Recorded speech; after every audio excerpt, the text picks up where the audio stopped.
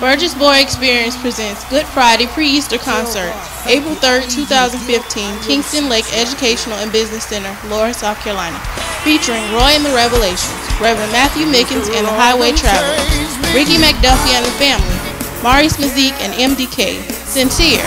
Advance tickets $10, at entry $15, VIP $25. Doors open 6 p.m. Service begins 7 p.m.